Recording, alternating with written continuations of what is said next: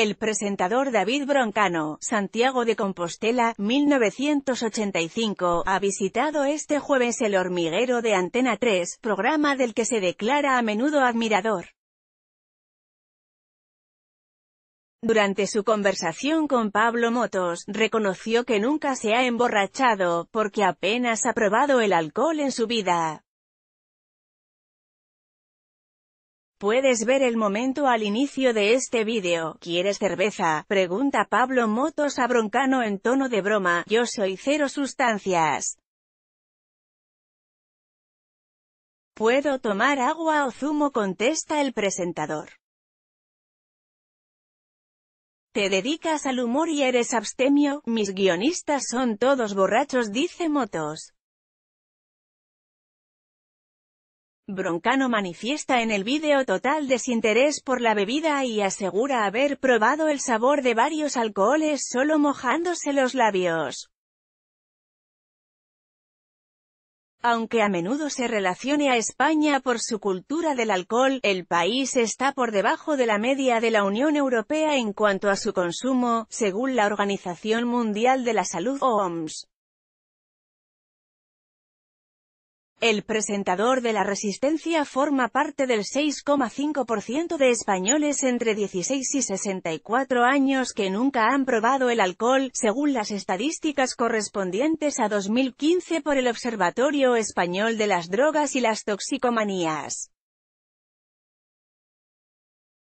La cifra es ligeramente inferior entre los españoles con su franja de edad, de 25 a 34 años, un 6,1%. La condición de abstemio convencido de Broncano ha protagonizado alguno de sus monólogos.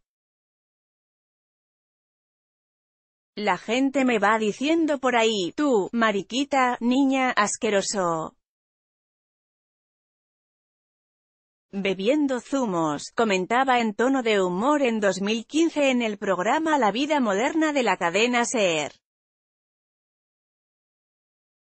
¿Acaso sabéis cuánto cuesta emborracharse con zumos? También hablaba de ello ese mismo año en el Club de la Comedia. En un encuentro entre Broncano y Javier Crae, el cantautor intentaba convencer al humorista de que dejara de ser abstemio. El 37,5% de los hombres y el 22,6% de las mujeres españolas entre 15 y 34 años aseguraban en esa misma encuesta de 2015 del Observatorio Español de las Drogas y las Toxicomanías haberse emborrachado alguna vez en los 12 meses anteriores. En comparación con los datos de 2007, ha descendido el porcentaje de hombres que se emborrachan en esa franja de edad, entonces era un 39,1%.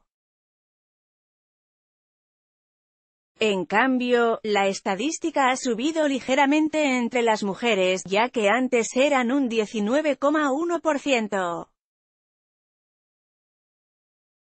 Asterisco también puedes seguirnos en Instagram y Flipboard, no te pierdas lo mejor de ver.